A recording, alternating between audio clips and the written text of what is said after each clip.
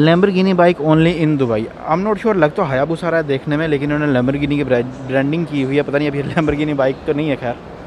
तो लेकिन फिर भी, देखो first Lamborghini bike in Dubai